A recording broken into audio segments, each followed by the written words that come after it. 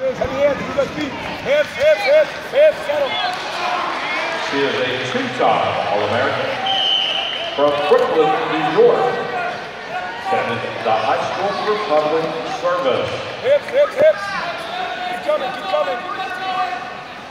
Janelle Cavatu is 12 and 3. She's a sophomore, Hips. Two-time All-American. Hips out, hips out, hips out. She was the champion at Hey, change 159 a year ago. From. Pearl City, Change it down, let's Hawaii, where she attended Pearl City High School.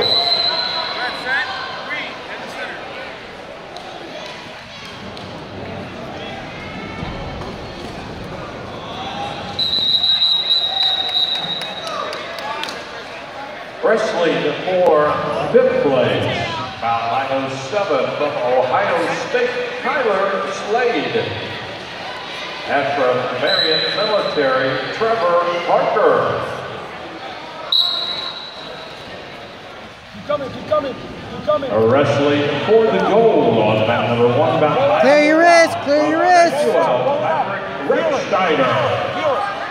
And from the United States Air Force Academy Prep School, Matt Leitner.